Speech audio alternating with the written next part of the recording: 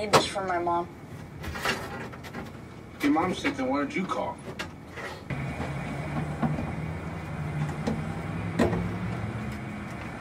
Alright, so I have the machine like mostly put back together.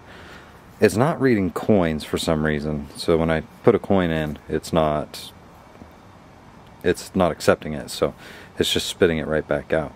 I'm not sure if that's the programming in the machine or if it's the mechanism that reads the coins. So I'm going to run and grab another coin reading mechanism out of one of my other machines, bring it over here and see if that fixes it. Alright, it's all put back together completely. There's just a few more things I have to do on the on the bottom here, and then it's finished and ready to go. This is why my shed gets messy. Normally, I would just leave all this stuff out. But I'm actually going to put it away today because New Year's resolution, promise, I'm going to start putting things away.